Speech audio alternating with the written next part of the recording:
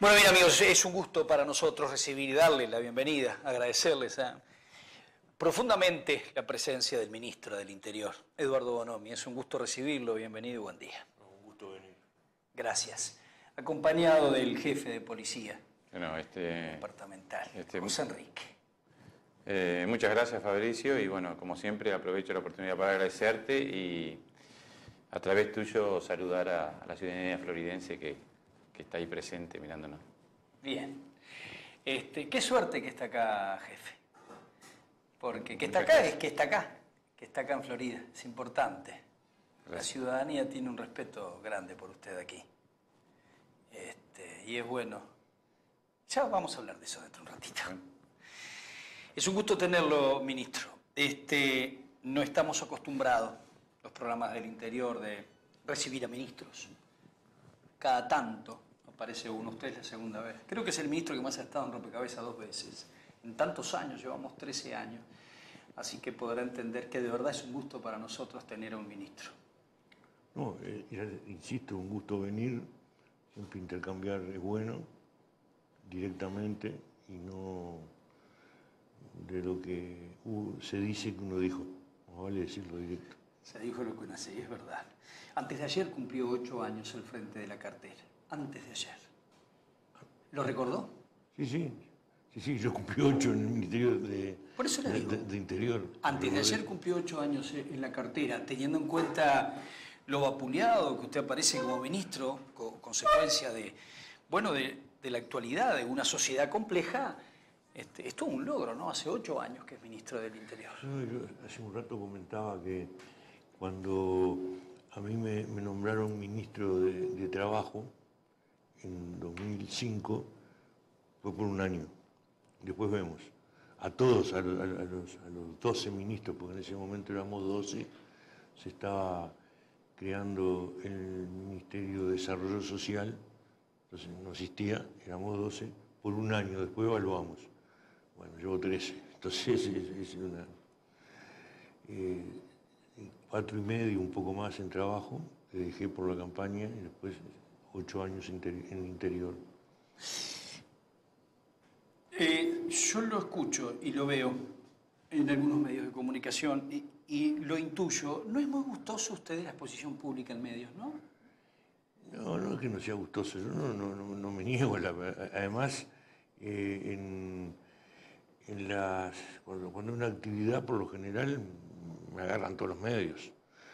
Lo que no me gusta mucho es cuando hay cinco medios, seis medios, si cuento radios y, y prensa escrita, son más, y cada cual tiene su lógica. Entonces uno va con preguntas que apuntan a determinado lado, otros van para otro lado y otro va para meter una sola pregunta que muchas veces es distorsionante de todo. Eso no me gusta, pero no es la exposición que no me guste. Eh, la entrevista, la entrevista eh, sirve para aclarar lo que, un ministerio está haciendo, alguien está haciendo, lo que uno está pensando, pero hay veces que, se, utiliza mal. Hay, un medio, que no voy a decir cuál, pero que una vez le, le pidió al, al director del Unicom una entrevista conmigo y le dijo, y, y decirle que si no me la da, la invento. Entonces eh, dije, bueno, que la invente. No se la doy. No se la doy. Y, y despu- y después, en otra ocasión, hizo algo parecido y de ahí en adelante no le di una sola nota más a ese medio. Entonces, el medio va a las, a las cosas colectivas, a veces pregunta, a veces no pregunta, pero de, de las cosas colectivas después arma una nota. Y arma una nota que no tiene lógica porque toma, toma cosas de distintos lados y bueno, no- eso no me gusta. ¿La prensa manipula entonces, ministro, claramente, según intereses claros, particulares? Lo- lo- Los periodistas eh, en general, en general, para mí cumplen su papel, lo cumplen bien. Muchas veces a la nota que está bien hecha le ponen títulos, que no se lo pone el periodista. Le pone títulos y le pone subtítulos. Y muchas veces los subtítulos tienen poco que ver con la nota.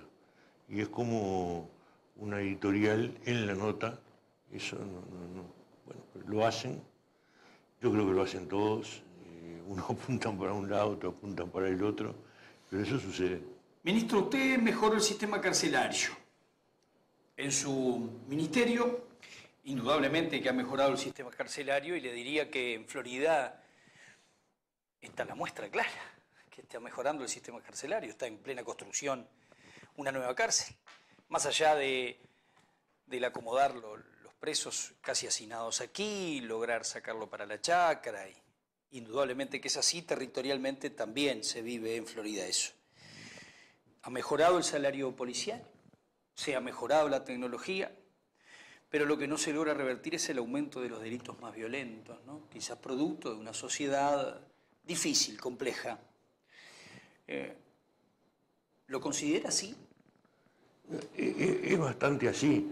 Eh, aunque los últimos dos años las rapiñas, que era el objetivo que nos habíamos propuesto, bajaron, este año tiene un comportamiento diferente, pero el, problema de la, violencia en la sociedad, generalmente cuando uno la mide, la mide en los delitos, delitos violentos. Pero los indicadores de violencia en la sociedad son mucho más que los delitos. Si uno va a las muertes violentas, eh, el índice más grande de muertes violentas es el suicidio. Es el suicidio. El suicidio. Superior, superior a las muertes por accidente de tránsito. Y después viene la muerte por homicidio. Pero cuando se quiere señalar que la sociedad violenta son la muerte por delitos, pero los accidentes de tránsito no, eso es una forma de violencia. Y la violencia en la familia es una forma de violencia. Y el aumento de la violencia doméstica es una forma de violencia. En los homicidios, eh, en lo que va el año, más o menos el 47, 48% de los homicidios son por conflictos entre delincuentes. Y otro porcentaje alto es el de violencia doméstica o, la violencia entre familiares o entre vecinos. El menor índice de, homicidio es por, robo. Entonces, eh, esos elementos de violencia doméstica, de violencia en la familia, violencia entre vecinos, es otro indicador de violencia en la sociedad. Eh, la violencia en el deporte es otro indicador, aunque se ha reducido en el último año, pero sigue existiendo. Y a veces no existe eh, la violencia física, pero lo, que cantan en la tribuna son formas de violencia a veces. Totalmente. Y mm, entonces eh, reducir la violencia en el delito eh, tiene como, como, base poder reducir los comportamientos violentos en la, sociedad. Y, muchas veces la forma, que uno lo ve en las redes, no lo ve tanto en la prensa, que algunos intentan para reducir la violencia en los delitos, es matarlo a todos. Creando más violencia. Creando más violencia, porque además hay cosas que en, todos, en todos los aspectos, no solo en la física, se crea, cuando hay una fuerza se crea un igual y contraria. Eh, en, lo social también. Entonces, cuando uno quiere resolver las cosas de, forma diferente a lo que en sociedad se hace, institucionalmente se hace, y metiendo más elementos de violencia, y además hay que matarlos a todos, va acompañado de que hay que organizarse y salir y, responder violentamente. Eso, produce una espiral de violencia. Entonces, tratar de reducir los delitos violentos eh, significa tratar de, reducir la violencia en la sociedad con otro tipo de comportamiento. Te empezó diciendo que habíamos mejorado la, situación en cárceles. Cuando se habla de las cárceles, y cuando se hablaba antes sobre todo, había una polémica que era mano dura o respeto de los derechos humanos. Y para nosotros está mal planteada la cosa así. Eh, lo que se tiene que plantear en cárceles es cómo se utiliza la cárcel para eh, rehabilitar o habilitar a la persona para que se reintegre en la sociedad. ese es el objetivo. Entonces, eh, tanto el criterio de mano dura o, de derechos humanos va en función de eso. nosotros no, no, tenemos como cometido el respeto a los derechos humanos. El cometido nuestro es bajar los delitos, reinsertar a la persona en la sociedad después de que, delinquió, y tenemos que hacer eso respetando los derechos humanos. No es que el objetivo sea respetar los derechos humanos, los derechos humanos hay que respetarlos en lo que uno hace. Yo he tenido polémicas con gente del exterior que plantea eh, eh, educar a la policía en, derechos humanos. Entonces, yo concuerdo, pero ¿qué, significa educar a la policía? Que la policía conozca los derechos humanos. Entonces, si el policía recita cuáles son los derechos humanos y cuando va a tener una persona, le, golpea la cabeza contra el, motor del auto, le patea... No, lo que, lo que hay que educar es en cómo se detiene a la persona, sin que se escape y sin denigrarlo. Eso es respetar los derechos humanos, no saberse los derechos humanos. Totalmente. Cómo se aplican los derechos humanos. No la teoría, sino la práctica. Bueno, y, en esto, en la cárcel es lo mismo. En la cárcel lo que hay que hacer es, tratar de que la persona adquiera hábitos de trabajo, estudie y, esté en condiciones de, y pierda los hábitos de delinquir respetando los derechos humanos. Está bien, pero ese proceso se está dando. Estamos tratando de hacerlo, no es sencillo, porque eh, arrancamos no, de cero, arrancamos de menos 10. Entonces, hemos avanzado, eh, en el interior es más fácil, el interior es más fácil, en donde hay grande concentración de personas detenidas, privadas de la libertad, con CAR, libertad, Canelones, eh, Maldonado. Maldonado, en un menor nivel, pero, pero se ya se integró a eso. Es más difícil, pero hay otros lugares donde es más fácil y además, en cada uno de estos que mencioné como dificultosos, hay módulos y módulos. Hace poco decían, en libertad, en CONCAR hay un hacinamiento, cierto, era donde había hacinamiento, pero había tres módulos con hacinamiento, el 8, el 10 y el 11. En el resto no había. Entonces, se podía trabajar distinto en distintos módulos. Hoy eh, no hay en el 10 está por bajar, ya está por funcionamiento mucho menor, en el 11, y ahora está en la cárcel de Putarrieles para 2.000 personas, y además tenemos mil presos menos prácticamente que el año pasado. Entonces el asignamiento va, a, desaparecer. Cuando eso desaparezca da, otras posibilidades. Pero yo señalo esto, no quería meterme en el tema cárceles en sí, sino me quería meter en el comportamiento violento y cómo a veces para combatir esa violencia que existe en la sociedad se, promueven recetas que en sí significan más violencia y que llevan a una espiral de violencia. Está claro eso, pero eh, eh, digamos que eso es consecuencia de, lo que sucede a, nivel mundial. A ver, esos planteos nosotros los hacemos diariamente acá. Cada mañana cuando comenzamos, eh, hablamos de lo que usted está planteando. hace poquito bueno, acá cuando sucede algún caso de homicidio violento, este, y la gente a través de las redes comienza a hablar de inseguridad, de cómo cambió el interior de determinado lugar, o cómo está la conducta, o la culpa es de Bonomi. Eh, usted debe desayunar con la culpa es de Bonomi, obviamente hace muchos años.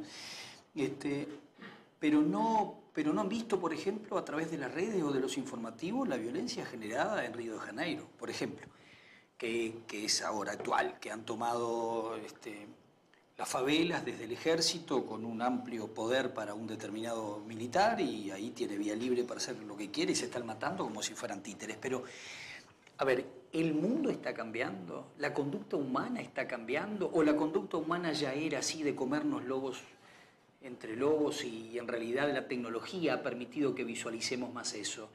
Eh, es decir, este Bonomi, eh, que incluso yo, de ministro, me da la sensación de que es muy complejo cambiar la actualidad de, la conducta humana. ¿Entiende lo que le quiero transmitir? Sí, sí, pero yo, no sé si es un problema de la conducta humana o es un problema el, de la violencia delictiva, ¿no? De, comportamientos que sí se ha complicado mucho en la región de América Central, el Caribe, hacia el sur, se ha complicado todo. nosotros no, no, podemos analizar la situación en Uruguay fuera de, la, situación del resto del continente. Más cuando en estos dos meses lo hemos visto. En estos dos meses la policía desactivó una banda de mexicanos que planificaron el robo en México sin conexión uruguaya. Sin conexión uruguaya.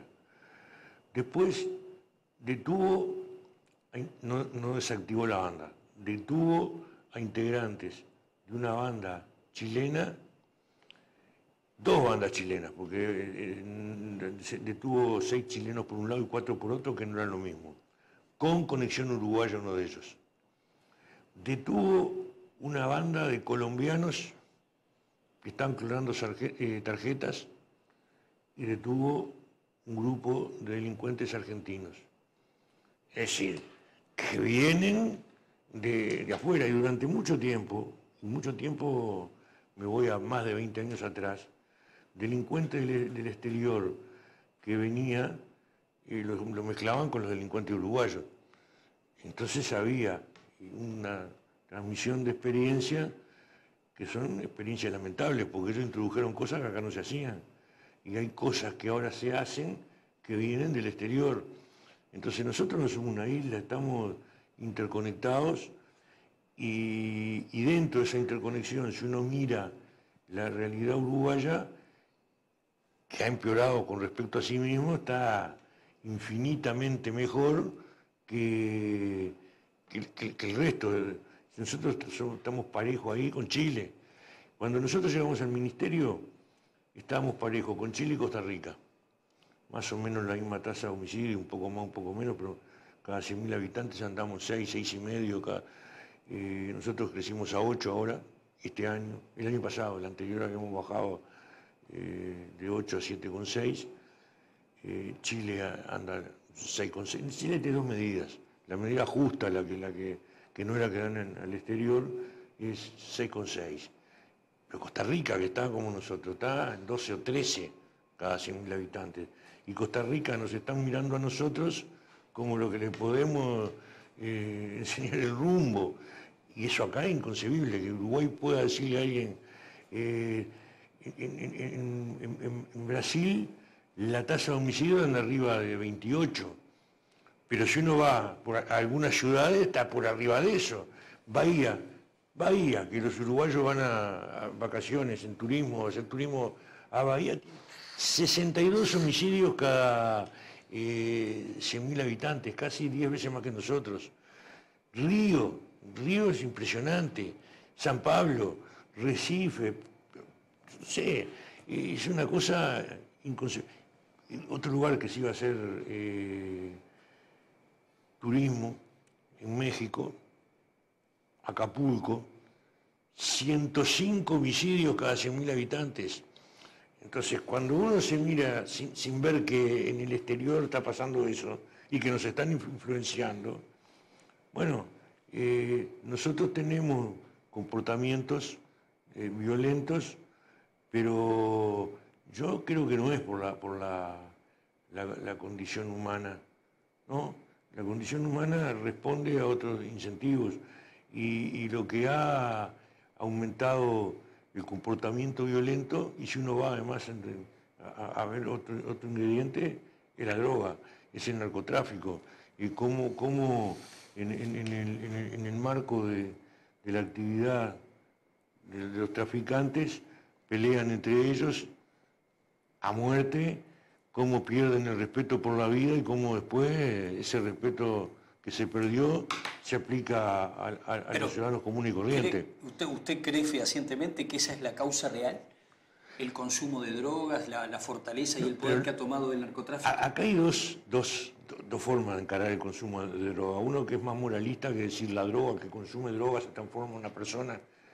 Yo no me refiero a eso.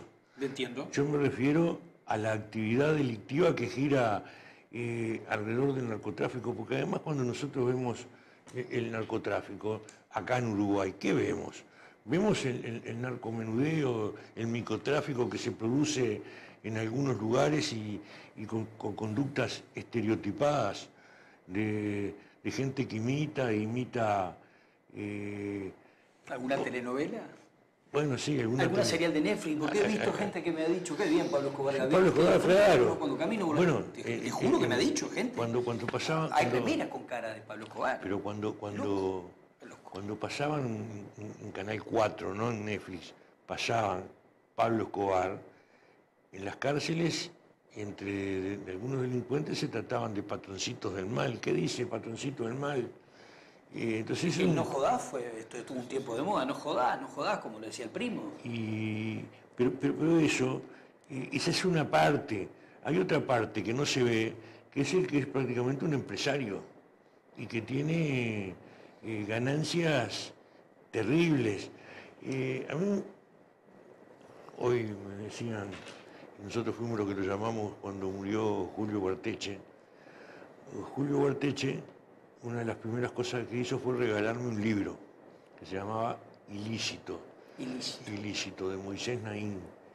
Entonces, eh, eh, el libro de alguna manera es largo, pero que la síntesis es que el crimen organizado es un negocio. Y que eh, el narcotráfico forma parte de ese negocio, el tráfico de armas, la, falsificación de marcas y el empresario elige cuál le da más ganancia y menos riesgo. Entonces, hoy me da más ganancia, voy por acá. Eh, esto me produce mucho riesgo, voy por acá. Eh, y, tiene toda una, mentalidad de la tasa de ganancia y, el riesgo. Y ese no es el, estereotipado, ese no es el, estereotipado que nosotros vemos. Y, no hay, no hay tráfico de drogas si no hay lavado de activos. Y el lavado de activos ¿Quién lo hace? Lo hacen los bancos. Lo hacen los bancos. Y los mismos bancos que nosotros nos criticaban porque estamos en una lista gris, muchas veces son los que más lavan en el mundo y muchas veces son los que nos controlan que no nos lavemos nosotros. Entonces tenemos un problema ahí. Y no es la condición humana. No no no es, no es que el hombre y la mujer se hayan transformado violentos porque cambió la condición. No, no si lo, si lo explicamos por ahí, perdemos. Lo tenemos que explicar por determinadas actividades que se desarrollan y que hay que tratar de, combatir, pero que no se la combate con, sino con, inteligencia, con, mucha inteligencia y poniendo eh, todas las fuerzas en función de ese combate. Y hoy muchas veces lo que se hace, y ese es el problema, es que se pone la necesidad de ese combate como forma de acumulación política. Entonces cuando discutimos, no discutimos en serio, discutimos cómo acumulamos políticamente y, cosas que se pueden estar haciendo bien, la transformamos que están haciéndose mal para cobrar políticamente, o cosas que se están haciendo mal se las defiende como si estuvieran bien para acumular políticamente. Y eso, ese es el problema. El problema es no poder tener políticas de Estado para combatir ese problema.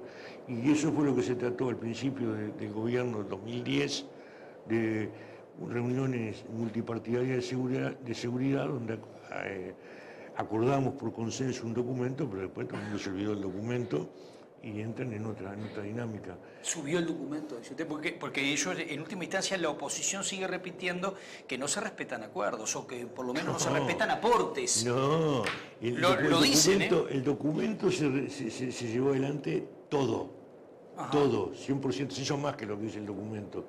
Que no se respetan aportes, no es otra cosa, una cosa uno hace un aporte, pero uno, si no lo acordó, tiene que valorar si el aporte es correcto. Eh, Novik, señor Novik, vive haciéndome aportes. Sí, ayer, ayer eh, acá se lo hizo, ahora, se lo voy a contar. Bueno, pero yo le dije En Florida le hizo un, el, buen aporte anoche.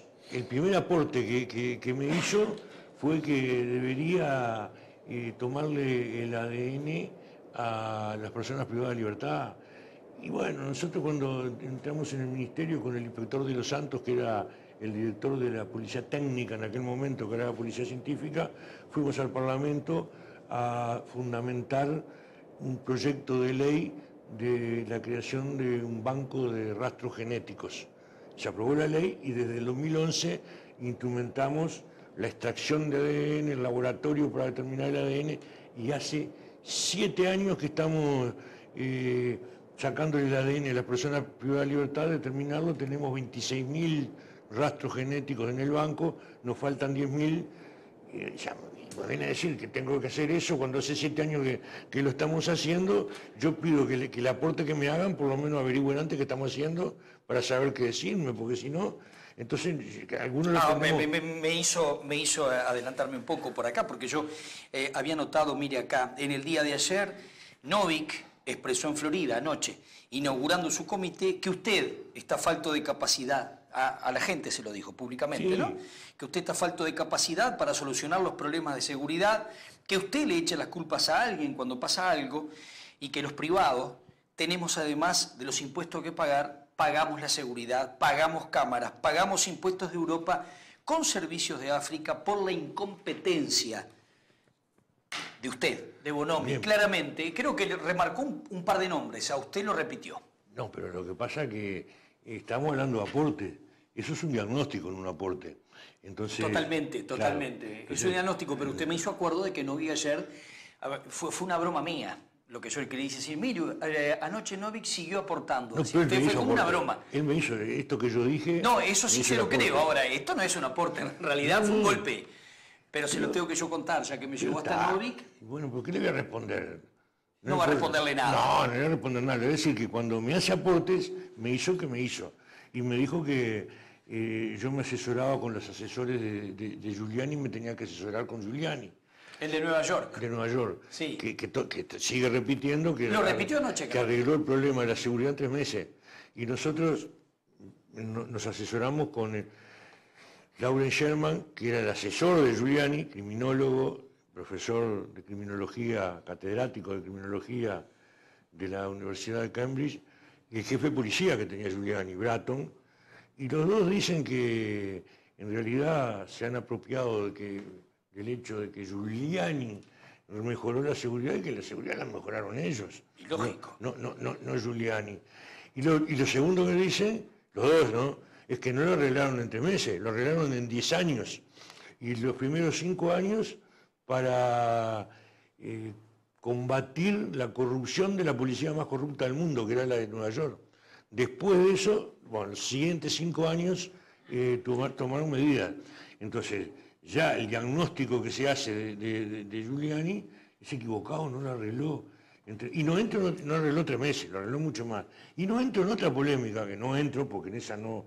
Que hay quien dice que cuando se arregló eso en Nueva York, paralelamente se arregló en un montón de lugares que no tenían nada que ver con la política de Giuliani y que entonces es, difícil adjudicarle a la política de Giuliani el arreglo en Nueva York porque se arregló en otro, en otros estados, sin esas políticas. Pero yo no entro en esa polémica. Está bien, pero Vamos a dar por, bueno que lo arregló. Está bien. Pero lo arregló Sherman y Bratton. Bien. Eh, o sea que el aporte que le brinda Novi también, o el consejo, usted ya lo tomó. Sí, sí, y hemos tomado otro que se lo dio también. O sea, por eso digo que, que por lo menos sepan qué estamos haciendo porque lo hemos dicho por todos lados. Está bien, ayer el diputado Daniel Peña, también del sector de Novi, dijo que la policía uruguaya es corrupta, que el Ministerio del Interior es corrupto. Bueno. Eh, ¿Algún colega le preguntó si había pruebas? ¿Eh? Acá, acá en el canal a nuestro compañero informativista y, le preguntó el compañero nuestro si tenía pruebas de eso, porque no es una cosa de Y él dijo que no, que él que, o que tenía, pero que no las decía, que sabía que había corrupción en el ministerio. Eh, yo tengo pruebas de que sí, que tiene razón. Eh, fueron dados de baja, algunos fueron procesados, entonces eh, por, por acción de la policía y del ministerio. pero lo que no tiene razón es que la policía es corrupta. Que hay casos de corrupción, tiene razón, hubo casos de corrupción terminaron procesados o dados de baja. Y en general, eh, cuando se habla de la corrupción en la policía uruguaya en la región, es la policía más sana de la región.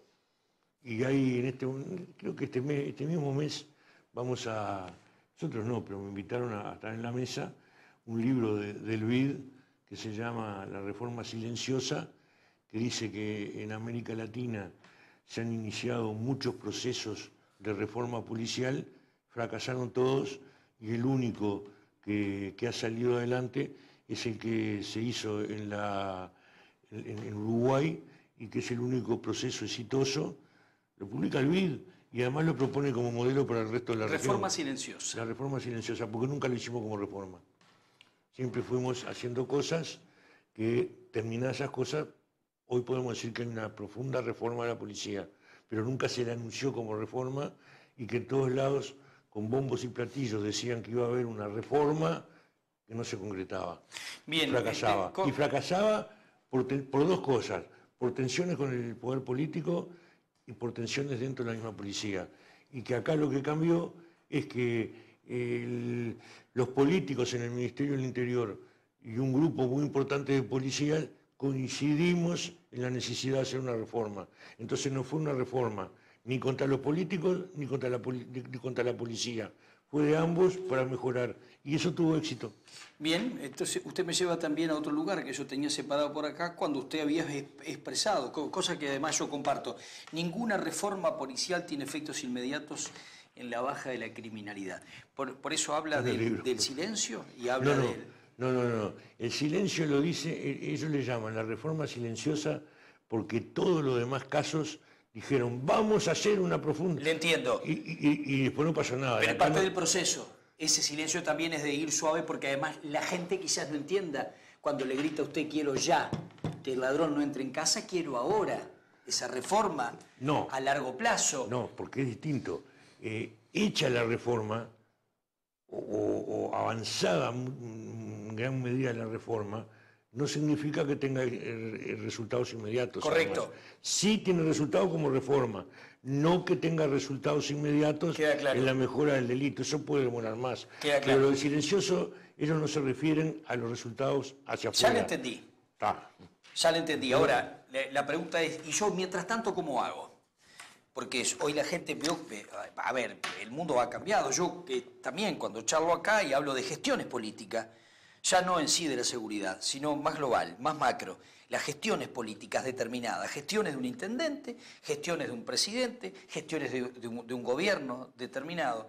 Siempre yo estoy pensando eso que eh, es a largo plazo que notamos los resultados. Eh, se toman acciones hoy, eh, determinantes y a largo plazo vamos a descubrir. Lamentablemente a veces somos como sociedad víctima de eso, de descubrir si la gestión fue correcta o no en un plazo determinado. Eh, las consecuencias se pagan después, negativas o positivas. Ahora, eh, en un mundo tan exitista que yo repito, acá la gente, antiguamente mis papás me hablaban de un paraíso, de que si yo era un buen pibe, Jesús me iba a recibir a mí en el paraíso. Mañana, mañana, cuando yo partiera de la tierra, si había sido un buen hombre, iba a ir a un mundo mejor. Eso fue cambiando. La conducta de la gente fue cambiando y también la creencia re- religiosa. Y aparecen iglesias evangélicas que te dicen pare de sufrir y ya.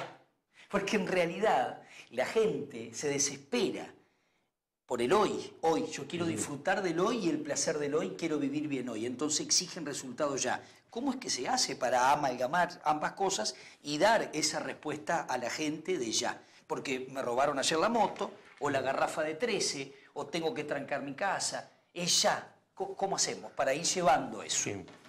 Eh, lo- los delitos que normalmente se, se tienden a tener en cuenta para ver eh, cómo evoluciona el delito en general y no el delito que uno elige para demostrar un resultado negativo son 25, más o menos 30, no, no, no son dos o tres. De esos 25 o 30, eh, en estos años han bajado por lo menos 18 o 20 de esos delitos. Los que siguen complicados son la rapiña, el hurto, el homicidio y ahora se, se ha complicado la, la- la violencia doméstica, aunque ahí nosotros no tenemos claro si lo que aumentó fue la violencia doméstica o aumentó el registro de la violencia doméstica, o las dos cosas. Correcto. Yo creo que aumentó las dos cosas, pero, pero también aumentó mucho el registro, porque antes pasaba disimulado por otra, otra, otra causa, que además el propio policía la tomaba como otra causa antes. Totalmente. Y trataba de ocultar que había, la, la mujer iba a hacer una denuncia y ay, se- pensaba para adentro, está loca. eh, bueno, ¿Qué habrá hecho para que el marido Sí? ¿qué habrá hecho? ¿Usted qué habrá hecho? Entonces, eso no pasa. Ahora no y pasa. entonces es- ahora se va más a, a- a denunciar y aumenta el registro. Mucho aumentó el registro. Incluso aumentó el registro en la propia policía. Pero yo creo que aumentaron las dos cosas. Ahora, esos delitos tienen, lo decía hoy, hay, delitos que están eh, intrínsecamente vinculados al comportamiento social y hay delitos que no están directamente vinculados al comportamiento social. Tiene que ver con una voluntad casi profesional de que, va a vivir del delito. Y bueno, yo acabo de decir que se detuvo una banda entera de, delincuentes mexicanos, una de, delincuentes chilenos, no entera, todos chilenos, colombianos y argentinos. Yo día hicieron una presentación, antes de ayer me hicieron una presentación de cómo, cómo se hizo esto, y había un policía, que es un policía de larga data y señor policía, en determinado momento me dice, y tiene razón, esta es la esencia del trabajo policial. Y es, porque era una investigación, pero la señora investigación, eh, que, involucró distintos actores, y, eso, y que además, después de agarrarlo, devuelvan todo lo que se robó, eso es un índice de mejora de la, policía, que no es la primera vez. Eh, van varias veces que no solo detienen, sino que devuelven todo. Queda claro. eso, ahora, lo que, y eso es evolución, y eso es parte de la reforma. Ahora, lo que, el delito que está intrínsecamente vinculado al comportamiento social es más difícil. Es más difícil, es mucho más difícil. Eh, pero a pesar de eso, cayeron un montón y hay tres que, siguen dando, dando trabajo, que son el hurto, la rapiña y el homicidio.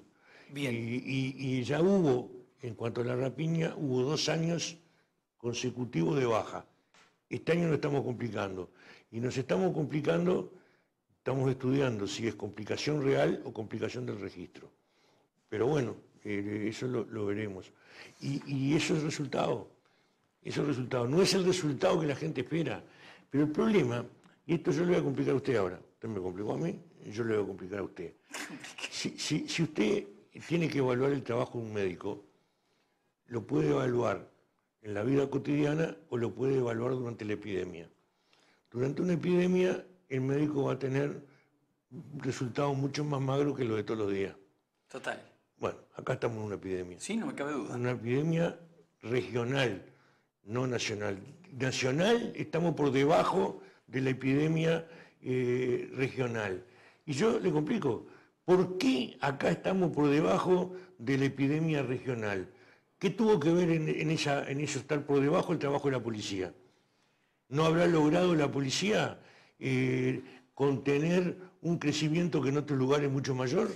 Mire, le voy a ser honesto, este, porque eh, se logra confundir muchas veces una respuesta de un periodista con una aceptación política determinada. Y en realidad, este, yo creo que sí, ayer discutía con una, una llegada, con, una familiar mía, y yo le, comentaba que si los índices te dan de que no estamos, este, que estamos peor que antes, yo te aseguro que se ha detenido mucho eh, porcentualmente el tema delictivo y esta epidemia regional, mm, yo creo que podríamos estar peor.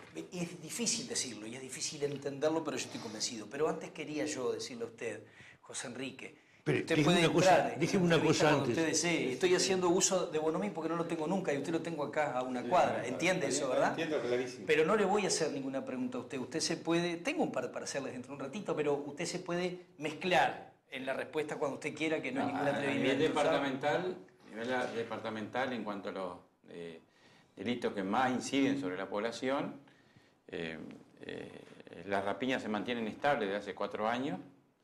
Hay hurtos. ¿Ha aumentado los hurtos? En el 2017 bajamos casi un 25% de los hurtos y los homicidios se mantienen estables. Uno, dos, tres. Este. ¿Sabe qué aqueja públicamente en la localidad? Con llamadas continuas de la gente.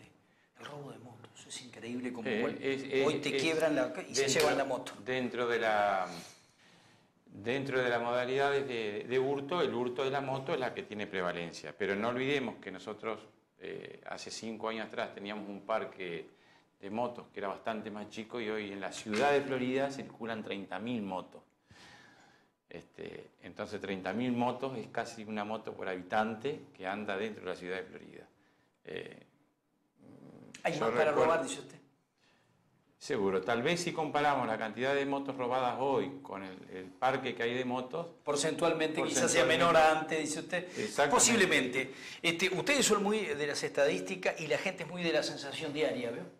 sí, sí, sí, no. Pero vale, vale, vale. Eh, sin la- sin la- análisis no, la no sensación, razón de ser. eh, pero la sensación da- de diaria también tiene este, un aspecto de inmediatez, porque Total. El, el hecho que ocurre, un hurto de una moto, este, eh, sale publicado, el mismo hurto, publicado o por televisión o en, en- en Twitter, porque ahora cada medio de prensa tiene varias ramas para, para poder este, Para manifestar, sí. para poder comunicarlo a la población, entonces se repite muchísimas veces y a veces no pasa de haber eh, dos hurtos de moto en el día.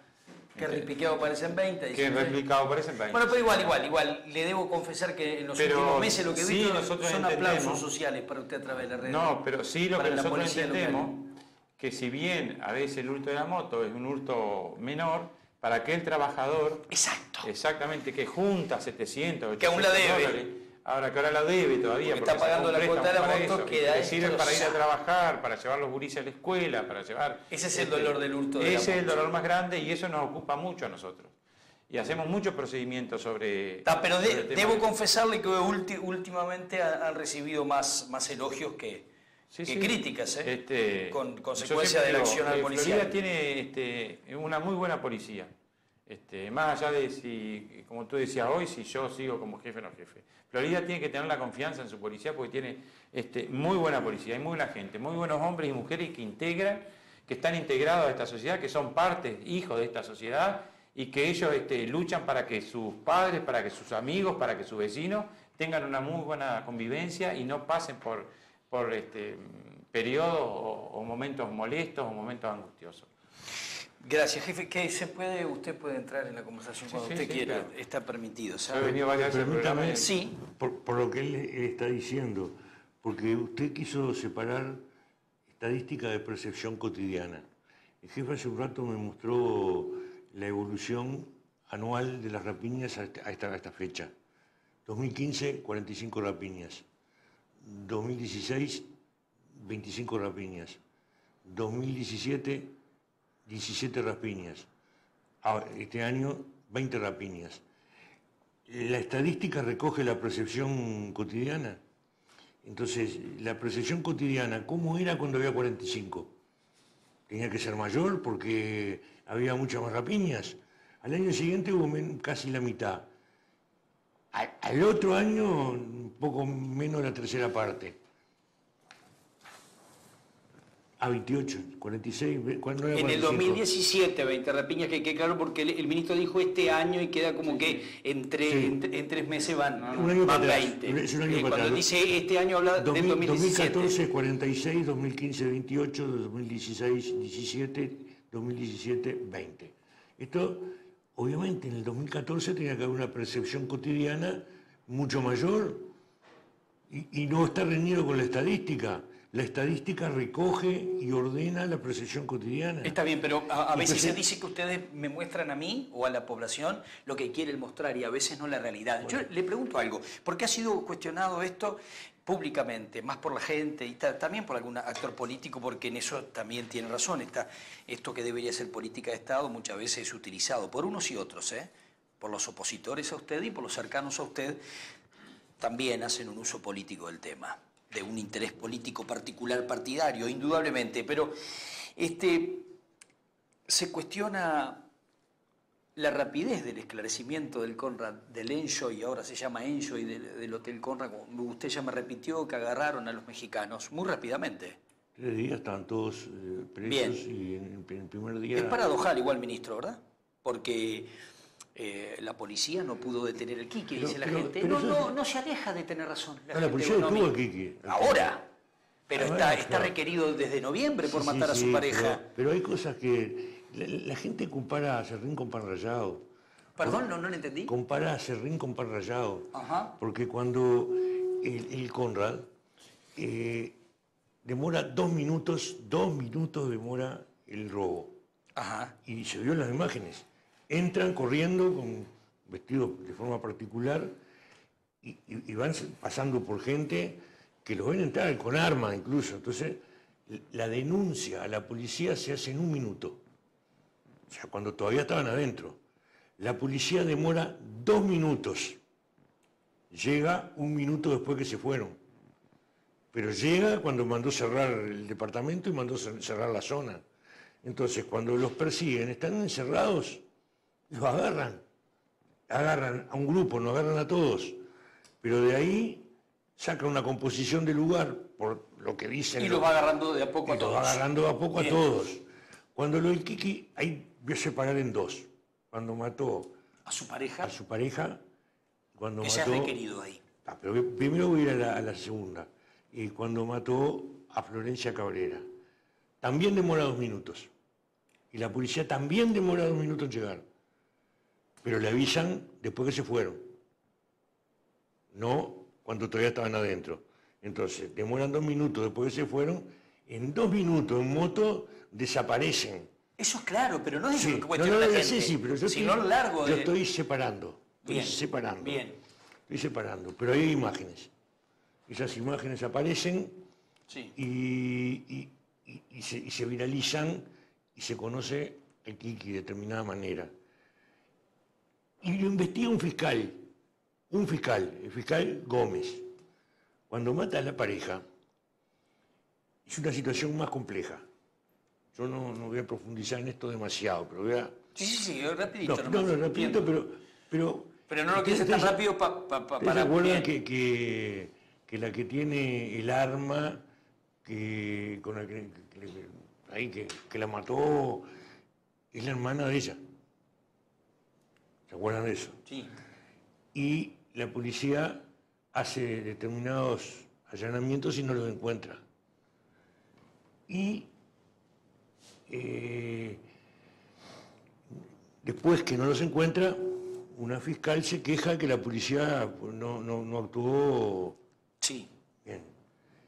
En el caso de Maldonado, en el caso de Florencia Ca- Cabrera y en el caso de Alison Pachón, son tres fiscales distintos, son tres fiscales los que dirigen la, la- la- la investigación, Y lo hacen de, de diferentes formas. de diferente forma.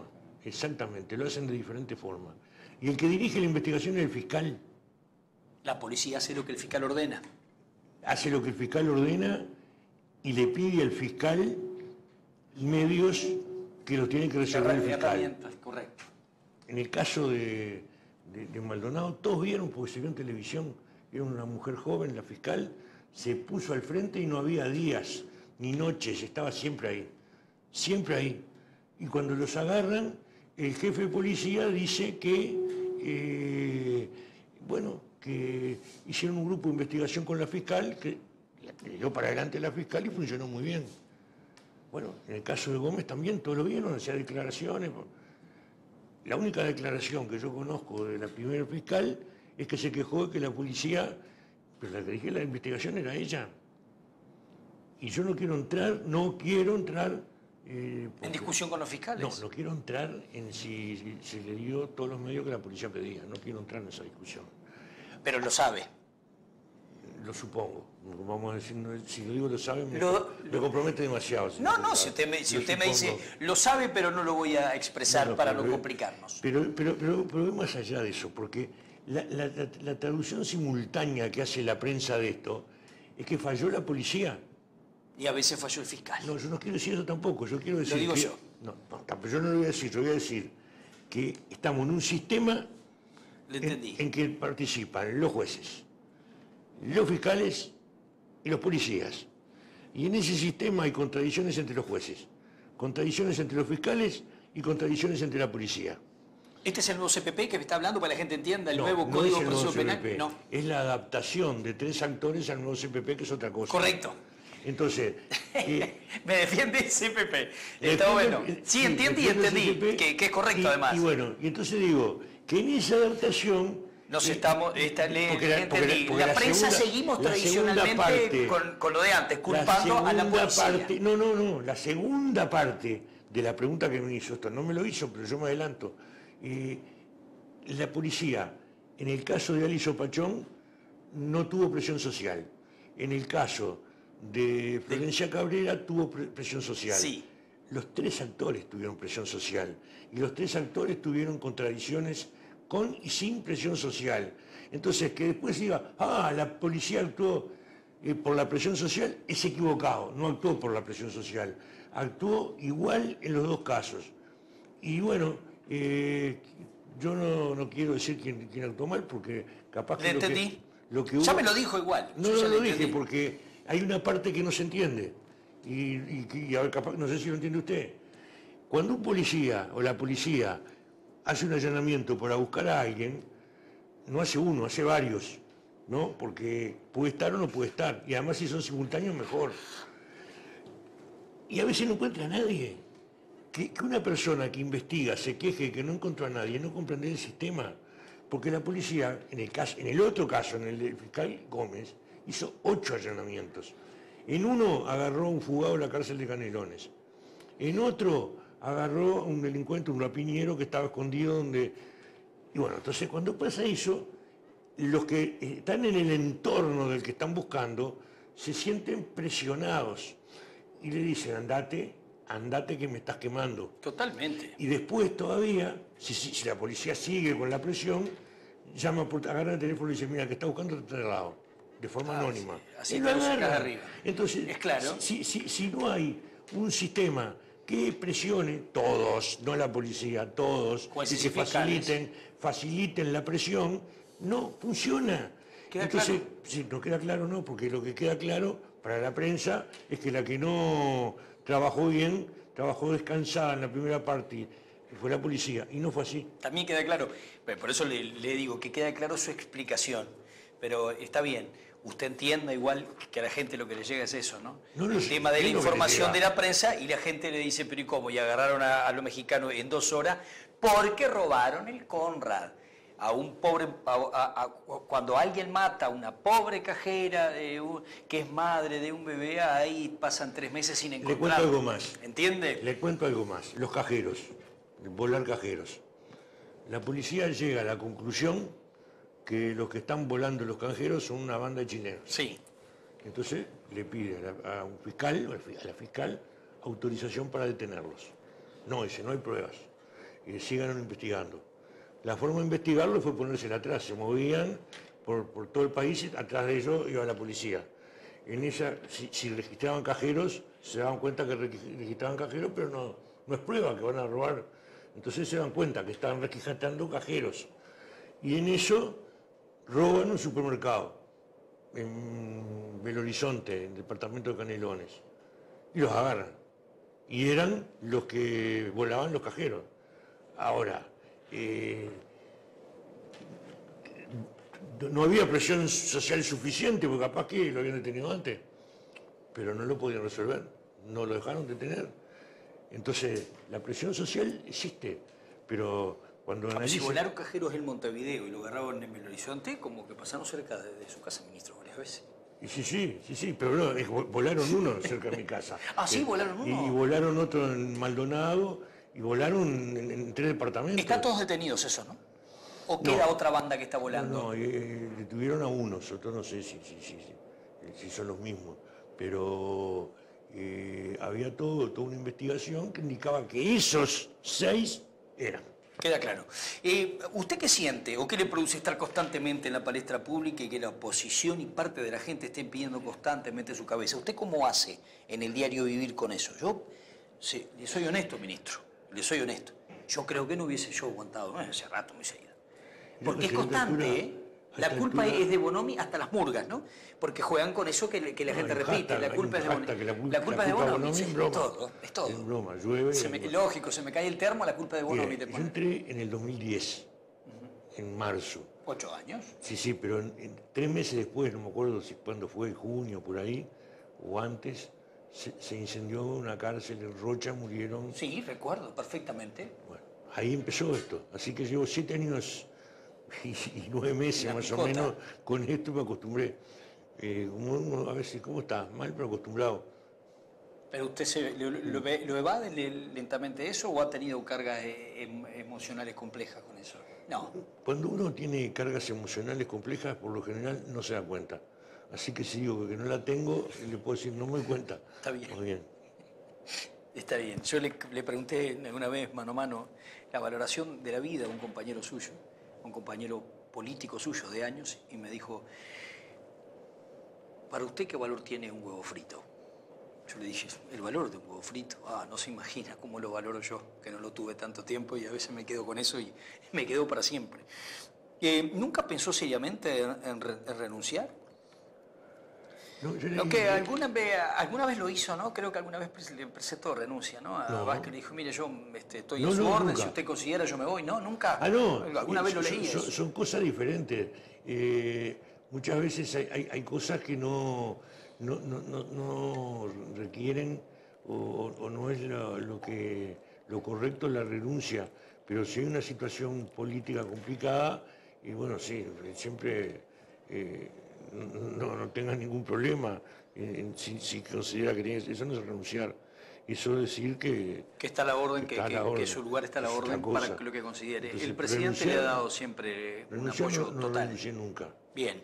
Y, y mientras lo- los argumentos sean estos, no, no, no, no. Porque tenemos políticas diferentes. Entonces, lo que eh, eh, ellos, ellos buscan eh, problemas, además e- es, muy oportunista. Cada vez que aparece un problema piden la renuncia. Y, pero lo que, lo que hay de fondo es impulsar una política diferente. Entonces, no, no, no, no, es- lo que me afecta. Está bien. ¿Vio, vio, vio- lo que es un, un, un punching ball? Eso que es una, un- como una cosa redonda de cuero que cuelga del... Que el boxeador cuando practica está siempre así, haciendo así, un, un punching ball. ¿Sabe lo que es? No, si lo tendré claro que cuando iba a un programa de televisión que tenía un dibujante muy, muy bueno, que tengo creo que 10 dibujos de él, los tengo en casa, dos son mi cabeza como Puchimbal y, y pegándome, así que lo tendré. lo No, tengo porque una, una de las boxeadoras políticas que veo constantemente haciendo uso de usted como punching ball es Graciela Bianchi. Aquí en Buenos Aires, en todos lados. ¿Le, le- le respondo en serio? o- Sí, en serio. Bueno, Bueno, eh, de, de las dos formas respóndame, a ver. Me, me- me mire, gusta eso. Respóndame yo- seriamente y el- después en El broma. primer problema mío con Graciela Bianchi fue cuando ya estaba en el Frente Amplio. Ajá. y era directora de un liceo y hizo un lío bárbaro porque en el liceo no había seguridad, entonces pidió seguridad. Recuerdo. Que se lo pusimos en la, en la- en la vereda, no en el liceo, sino en la, en la cuadra. Le pusimos dos o tres policías. También recuerdo. Entonces armó un lío bárbaro porque ella quería un policía. No dos ni tres. No dos ni tres. Entonces, armó un lío bárbaro. Pero no, usted quiso seguridad. Si son dos o uno, uno capaz que queda regalado ahí. Entonces, capaz que necesitan que sean dos para que tengan apoyo entre sí. No, pero yo quiero uno. Bueno, entonces ahí armó un terrible lío y ya a mí me indica que no entiende nada. Porque yo no me pongo adentro del liceo a decirle cómo tiene que dar las clases. Ella que no se ponga en la vereda, en la cuadra, que es el barrio, a decir cómo tiene que, trabajar la, policía. Entonces, ya, ya de ahí, y, y el lío que armó no, no fue un lío eh, así nomás, fue un terrible lío por un Muy mediático llegó todo. por un problema que no, no lo amerita, ¿no? Entonces, y ella dice cosas que creo que si hay un hashtag con el renunciado Bonomi hay otro para ella. Entonces no, no, no, no es muy, no, no es, no es recibo lo que, lo que. Está, pero eso es en serio. ¿Y en broma Entonces- cómo va a contestarme? No, en broma vamos a dejarlo así. Sí, se queda ahí. Vamos a dejarlo así. A mí me interesaba si le iba a contestar en broma. No, sí, pero no vamos a dejarlo ahí. Eh, no, no, no, no es recibo. Eh, hay cosas, hay, hay- hay gente de la oposición que hace críticas, hace aportes, y uno puede no estar de acuerdo, pero los tiene en cuenta. Yo qué sé, cuando el senador Larrañaga dice que se necesita una Guardia Nacional y, y plantea que sean militares, Ajá, iba a eso justamente. yo creo que no, que- que- pero nosotros eh, lo que hicimos, parecido, fue una dentro de la policía, la policía, la Guardia Republicana, con determinadas características, que pueda actuar y aumentamos la cantidad de gente y le dimos, eh, porque antes dependía de la jefatura de policía de Montevideo y ahora tiene despliegue nacional y puede moverse. Entonces, la receta, la receta no, no me, no me sirve, pero la receta que sean militares, pero que tenga que haber algo con mayor movilidad y que pueda apoyar determinadas cosas, lo hemos tomado. tanto lo hemos tomado que eh, dentro del Partido Nacional se armó una polémica. La Rañaga promoviendo a los militares y eh, la calle Pou diciendo que para qué los militares hiciste la Guardia Republicana, que está muy bien entrenada, tiene eh, muy buen armamento, tiene despliegue nacional. Bueno, polemicen entre ellos. Nosotros tenemos la Guardia Republicana y yo por, lo menos tuve en cuenta el, objetivo que perseguía ¿Pero usted el está de acuerdo con los militares en la no, calle? No, yo, a esta altura yo no sé en dónde, qué lugares lo dije, yo lo dije porque me lo preguntan. Lo dije hace un rato, no lo dije acá. No lo dije acá, bueno. No, acá no, lógico, sí, no, no, usted, usted, está considerando que yo estoy muy viejo, entonces, que le estoy preguntando. No, yo estoy... dígame, dígame. no, que eh, ya, ya intervino el ejército en distintos lados. No el de Brasil de ahora, que, no, es terrible, igual, es, terrible de ver, sí. Pero intervino Colombia, intervino México, y, intervino bajo el concepto de guerra a las drogas, de la, de la DEA, guerra a las drogas. Y bueno, en Colombia se, hizo una guerra paralela a la guerra con, con la FARC. Usted dice que los resultados no son buenos. No, no, son, no son buenos, sino que la exportaron a México. Y en México fue peor todavía tan peor que todavía no terminaron. Y, tan peor que, lo corrupto ahí fue el ejército. Entonces el gobierno sacó al ejército y puso a la Armada Nacional. Y, no, y no tiene resultado, no da resultado. Al punto que el ministro de Defensa de México le pidió a nuestro ministro hace unos años, cuando vivía Fernández Huidobro, que le rogaba, le pedía por favor que no dejara que la Fuerza Armada interviniera en tareas de seguridad porque a la larga se resulta peor. Entonces uno tiene que oír y ver lo que pasa y no eh, responder al grito y, además porque, eh, yo qué sé, como la gente, la gente lo pide, yo quedo bien con la gente diciendo que, no, no, no, no, no, no lo veo, no lo veo así, no lo veo, mal. Bien, consecuencia de, la libertad. Pero una cosa, una, eso es una cosa que militares apoyen tareas que son de otro, es otra cosa darle la responsabilidad, no. Cuando nosotros hacíamos operativo de saturación, como le decíamos, nos apoyaba la Fuerza Aérea con un helicóptero. Y no teníamos problema en eso. Pero no, no, no era la tarea de seguridad dada a la Fuerza Armada. Queda claro. Yo este, he desarrollado eh, un resumen. Generalmente no lo hago, pero se podrá imaginar que hay una cantidad de temas que escapan a mis conocimientos y tuve que tratar de, ingresar en muchos lugares para poder ir desarrollando esta entrevista y preguntarle cosas que fueran de vital importancia. En su desarrollo y la libertad que, le he dado para que echarle un rato y para que la gente lo visualice mejor, ha conversado de muchos temas que le iba a preguntar y que ya no es necesidad de que le pregunte, así que voy a ir cerrando. Pero quiero preguntarle por algunas cositas. Eh, eh, para que me conteste más rápidamente. Eh, ¿Ha habido una orden de austeridad de parte del Ministerio de Economía y Finanzas en el comienzo de este segundo gobierno de Vázquez, este tercero del, Frente Amplio? Austeridad por las circunstancias que fueren. No voy a entrar en eso a hablar con usted como ministro del Interior. Pero sí a preguntarle, ¿esa austeridad propuesta por el Ministerio de Economía y Finanzas ha afectado un poco el tema del presupuesto policial para no, satisfacer algunos...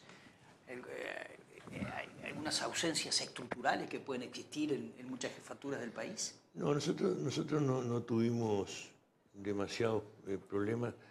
Nosotros mismos renunciamos a algunas cosas para los efectos de que el presupuesto, el presupuesto fuera equilibrado, pero los objetivos nuestros que eran el pago, después fortalecer el pago, lo pudimos hacer, instalar las 3.300 cámaras que en el área metropolitana lo pudimos hacer. También recibimos... Es positivo eso, ¿verdad? Eh, recontra positivo. ¿Y hay resultados positivos? Sí, el, el, PADO explica la baja de rapiñas en el 2016 y en el 2017, a pesar que en los últimos meses, los dos últimos meses se complicó y ahora sigue complicado, eh, fue positivo, las cámaras son muy positivas llevamos más de mil cámaras instaladas en, Montevideo, pero eh, recién a partir del primero de febrero le sumamos nuevos visualizadores 167 nuevos visualizadores, que hasta el 31 de enero los visualizadores eran los mismos que estaban mirando mucho menos cámaras. Entonces es más difícil. Pero, pero sí, e, e, es, bueno dos puntos de vista, del punto de vista preventivo y del punto de vista de la obtención de pruebas para presentar ante los jueces, que al principio eran reacios, pero que ahora ya piden hasta la prueba de las cámaras. ¿Usted leyó el libro del, criminólogo floridense Jorge Reyes, que también es funcionario del Ministerio del Interior, que se llama El negocio del miedo al crimen? No. No, pero me supongo que por dónde va, porque creo que... Creo que ¿Qué, qué? El, negocio del miedo al crimen? No, no, que se negoció para determinados eh, operadores comerciales y empresariales que utilizan el crimen para mejorar Totalmente, su... totalmente. no, pero que habla mucho de las cámaras. Eh, es un buen regalo que le va a hacer usted. Eh, es un buen regalo que le va a hacer usted al, ministro antes que parta de Florida, regalarle el libro del doctor Jorge Reyes. Es un libro más que interesante, ¿no? El parte, interesante. parte de Florida a hacer turismo. ¿Sí? Sí, hacer turismo. Por otro lado, no ha partido, no sé si va a partir. ¿Ha, cambiado un poco la cabeza usted desde cuando comenzó? Indudablemente todo cambiamos, eso también. No, pero no, no es filosófico el tema, es más, es más real. Yo le puse esta idea, pero la llegada de un gobierno progresista significó como estandarte, puse yo el pesar en las clases sociales más damnificadas por el sistema capitalista, se enviaron señales de contención para los más olvidados, eso cuando aterriza el Frente Amplio como gobierno. Pero hoy, teniendo en cuenta una realidad cruda y diferente, ¿ha cambiado en algo la mentalidad de los integrantes de la fuerza política? ¿Usted ha cambiado como ministro del Interior en el ingreso a hoy? Sí. Eh, a ver, le voy a explicar algo. Yo era estudiante cuando había racias en Montevideo, en un gobierno democrático hubo racias y ustedes, yo recuerdo que el Frente Amplio y la izquierda se puso de punta por esas racias policiales, eso, de punta mal. Cuando ustedes llegan al gobierno veo que llevan adelante esa tratar de contener a a esos lugares y eh, a esas personas olvidadas, eh, de alguna manera discriminadas en un sistema capitalista duro que ha dejado a muchos pobres en la calle, ustedes llegan a contener. Sin embargo, hace muy poquito vi un, trabajo policial importante en el barrio Siete Zonas. Importante, diría yo, que hace muchos años que no veo un aterrizaje de autos, helicópteros, parecía Nueva York, una cosa gigantesca, que yo dije, pa, pero cuántos bonitos móviles policiales que tenemos. Y usted hace ahí un trabajo policial que parecía una racia gigantesca que yo había visto como estudiante pequeño. Bueno, pero ha cambiado entonces un poco la cabeza y el pensar cómo ir solucionando esto y cómo, o no. Sí, la cabeza sí se me llenó de canas. No, usted ya era canoso igual hace mucho. Ahora capaz que tiene más. ha cambiado el actuar de la delincuencia. No, pero yo creo que son incomparables las racias con lo que hacemos. No, no, está bien, está bien. pero usted entendió la, idea igual, ¿verdad? Sí, sí, la entendí, pero, quiero diferenciarla porque... Bien, diferencia. No le pido al jefe que lo diga, pero se lo digo yo. Bien. Eh, las racias eh, parten de una orden que tuvieron de detener 40 personas por comisaría, por noche. Sí, recuerdo. ¿Y cómo detenemos 40? Piden cédula, el que no la tiene se lo llevan. Entonces, eso era la gracia. Y así lo hacían. Y estaba dirigida a gente, porque 40. Eh, una cosa es 40 que están robando y 40 que están bailando. Y estaba dirigida a los que iban a bailar. Tanto los operativos de saturación que hicimos al principio del primer gobierno nuestro, del segundo gobierno del frente, primero estadía nuestra en el Ministerio del Interior, eran con orden de allanamiento. íbamos contra gente que estaba requerida y que el fiscal, y el que se hizo el otro día, bueno, había como 20 órdenes de detención. Entonces. Eh, pero es un nuevo accionar, ¿verdad, ministro? Eso no cabe duda. No, es un nuevo accionar, pero con un distinto objetivo. Estamos de acuerdo, pero hay un nuevo accionar de la policía, ¿no? La, la racia en aquel momento la determinaba el objetivo, 40 por noche, y por comisaría. Y acá era bajar la delincuencia en, un barrio que está saturado de delincuentes que están amenazando a los vecinos. Entonces hay que ir a buscarlo. ¿Continuará con eso la policía? Eh, yo creo que sí. Sí. Creo que sí. ¿Es, verdad que la policía no, entra en algunos barrios? Lo piden los vecinos. ¿Cómo? ¿Es verdad que la policía no entra en, en algunos barrios? La policía entra en todos los barrios. ¿Acá también? Porque acá, me, acá, me han dicho que la policía como que no entra en algunos barrios. Acá entramos en todos los barrios. Entra en todos los barrios. Entra en todos los barrios. Bien. Yo para completarle la pregunta, porque capaz que le interesa, el problema no es si la policía entra o no entra. El problema es si pueden entrar tranquilamente y trabajar tranquilamente lo que están llevando adelante las políticas sociales, educativas, de salud. Yo lo entiendo perfectamente. Y esos son los que tienen más dificultad. Sí, sí, Entonces, si la policía no entra como entra ahora, sino que tiene que entrar para despejar el barrio, y que y eso es lo que hay que lograr. La policía logre que entre esa gente. Eso es lo que hay que hacer. Pero eso, la polémica sobre la seguridad tiene dos puntas. Tiene la oposición, que pide más mano dura, militares y no sé cuántas cosas, y gente, ya a esta altura, usted lo dijo, el, el Frente Amplio ha ido avanzando en esto, pero todavía queda gente que dice, no, no, las políticas de seguridad se llevan adelante con políticas sociales, punto. Yo estoy de acuerdo, pero la- la- no solo políticas sociales, hay políticas policiales de contención, de disminución Que hay que desarrollarlas. delito, que hay que desarrollarlas para permitir llevar adelante las políticas Estoy de acuerdo, me- le, le entendí perfectamente. Per- perfecto. Yo- Eh, lo Ahí le entendí. Usted entiende rápido, yo creo que entiende que está escuchando y viendo. Sí, yo también. Pero no tengo mucho tiempo. Yo espero que la gente entienda rápidamente, ¿no? Yo espero. No lo va a repetir mañana lo que dijo el ministro. No, ¿Esto? Sí. lo voy a repetir tantas veces que lo van a entender, porque lo repito de noche de vuelta a este programa, lo pongo en el portal para que lo vea quien quiera y lo voy a transmitir para el mundo después, ¿sabe? Así que lo van a entender. Pero sí quedó claro eso. Desarrollar las políticas sociales con una acción policial determinada para complementar eso y permitirles que se lleven Y adelante. que- Más claro para que- imposible. para que en el mientras tanto, porque las políticas sociales tienen efecto a largo plazo. Pero no cree solo en la mano dura, usted, como plantean no, algunos. no, yo no creo en la, mano represión, dura. la mano dura. Yo no creo en la mano dura, yo creo en la mano justa. En la mano justa. Debe, no, más armas, más armas policiales equivale a una mayor seguridad. No, No. Bien. Eh, la definición de mano justa era de Julio Guarteche. Dígamela de Yo- vuelta. Yo no creo ni en la mano dura ni en la mano blanda, creo en la mano justa. Bien. Antes de irme, que me está apurando el- la gente de, Sí, del ministerio. Sí, no, eh, a través de Saner, el compañero mío, el funcionario que me está diciendo desde hoy terminamos, terminamos.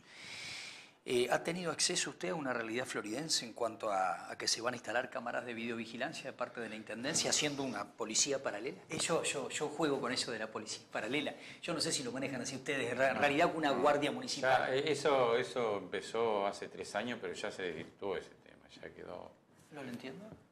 ¿Cómo Eh, se porque sí, porque- Están juntos trabajando ahora. No, no, No. eh, eh, de, la, de una policía paralela. Porque ellos sí, en el principio manejaron, crearon un espacio de policía paralela y, y eso no, no se puede dar. Y lo que ellos querían tener, lo, lo mismo que, que hacían los cuidadores de parques, jardines o los serenos, este, cambiarlos por policía. Y en eso, este, en eso estamos, pero los policías...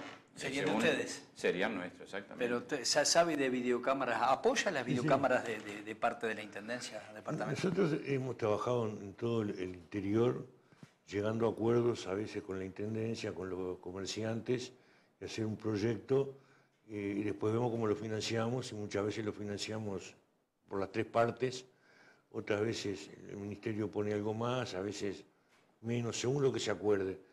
Acá ya hay cámaras, entonces si se va a ir por más cámaras, nosotros no tenemos problema, pero hay que hacer un proyecto que incor- incorpore las que hay a las nuevas. Y eso tiene un requerimiento técnico que ahí, si nosotros entramos, pedimos que eh, el estudio técnico lo haga el Ministerio a través de sus organismos especializados. Y aquí no quieren. No, no, aquí no. La, la intendencia, este, nosotros la las cámaras que hay fueron eh, todas este, mm, costeadas por el Ministerio de Interior. En un primer, en un primer proyecto la intendencia iba a participar, después la intendencia, como ustedes saben, este, se largó aparte. E hizo un proyecto de cámara que la está terminando de instalar, o ya las tiene casi instalada, que apunta más bien al control del tránsito y a parques y jardines. Eh, dentro de eso nosotros... ¿Han que- tenido diálogo para la colocación Sí. de las cámaras?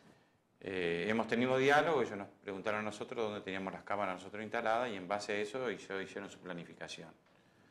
Lo que nosotros continuamos con el diálogo con ellos porque si bien las cámaras de ellos apuntan al tránsito especialmente y algunas zonas de, como yo te digo, como puede ser el, el- Prado Piedra Alta y algunos otros lugares que tenían serenos y ahora lo han sustituido por cámaras, es que eh, eh, el tema de la filmación tenga un respaldo jurídico aceptable para que nosotros podamos trabajar con esas cámaras y llevar como prueba si ocurre un hecho determinado ante la justicia. Lo voy a traer prontamente para hablar un poco más sobre ese tema, porque veo que en la pausa suya usted tiene más cosas para decirme, pero Después lo Pero son cosas locales y el ministro este, este, habla de cosas nacionales, de la Policía Nacional. Yo, yo parte... Pero te estoy seguro que está al día en ese tema, que usted lo tiene, No, el ministro, al nosotros día en ese en, otro departamento ha sido un poco más integral. No, Es más no integral, solo, sí, sí. no solo la policía puso uno y que alguien pregunte dónde están para poner otras, sino que se ha hecho en conjunto en otro departamento. Aquí no, pero este, este es el Aquí único arrancamos departamento en que no. Aquí arrancamos en conjunto. Y después se separaron, después se divorciaron. ay, nosotros no nos divorciamos. Bueno, se separan, se divorcian, Se es un... se un- alejaron, se son sinónimos. Se alejaron. Se Nosotros- alejaron, no nosotros nos Se alejaron, se al alejaron. No se al alejaron. divorcio. ¿Eh? Exacto. No, no. Bien, nos vamos. Eh, antes, eh, ya conoce el futuro del... Porque acá se ha manejado, hace tres años venimos manejando la posibilidad de que José Enrique Chaval, quizás el próximo año... Mauri, vos sí, escuché algo, bueno, vamos a averiguar, vamos a averiguar. José Enrique Chaval parte y no, no, no, no sé, no sé, a mí no me han dicho nada, no sé. Él siempre es muy, muy recatado para contestar y te dice, no, no, yo no sé. La verdad a mí no se me ha dicho Yo- nada, no puedo decirte sin sí ni no ni nada. ¿Qué- ¿Cuál es el futuro de Chaval? Porque hace poquito sentí que se iba para Montevideo. Se, se iba para Montevideo, sentí que en marzo, abril se iba para Montevideo. correcto.